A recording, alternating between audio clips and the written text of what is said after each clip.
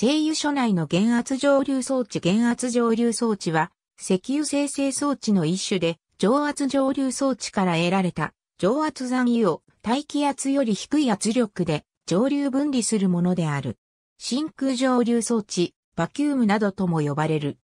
高沸点の石油系炭化水素は、摂氏350度前後の温度から熱分解を始めるので、沸点が摂氏350度以上の止め分を大気圧化で蒸留分離するのは現実的ではない。そこで、蒸留塔内の運転圧力を30から100、水銀中ミリメートル程度に下げることによって、沸点を下げ、熱分解を起こすことなく、高沸点止め分を蒸留分離するのが、減圧蒸留装置の目的である。減圧蒸留装置は蒸圧蒸留装置の主蒸留塔の到底から得られる蒸圧残油を処理する。蒸圧残油は、沸点が約摂氏350度以上の炭化水素を成分とする重油の一種である。減圧蒸留装置から得られる中間製品には以下のものがある。これらの製品はそのまま重油の混合原料として使用されることもあるが、大気汚染低減などの理由から水素化脱硫処理を行うことが一般的になってきている。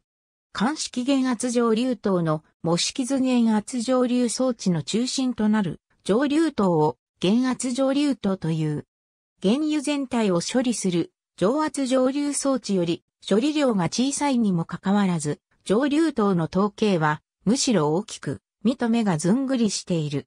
これは圧力が低いために内部の気体の体積が大きくなるためである。内部には棚段あるいは上流用重点物が設置されている。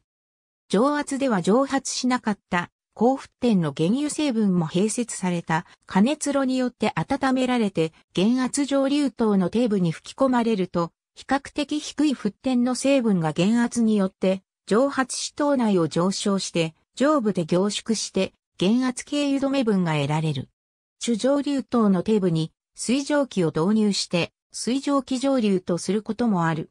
上流等の頭底部からは蒸発せずに液状のまま残った止め分が減圧残油として抜き出される。主要な付帯設備を以下に示す。ありがとうございます。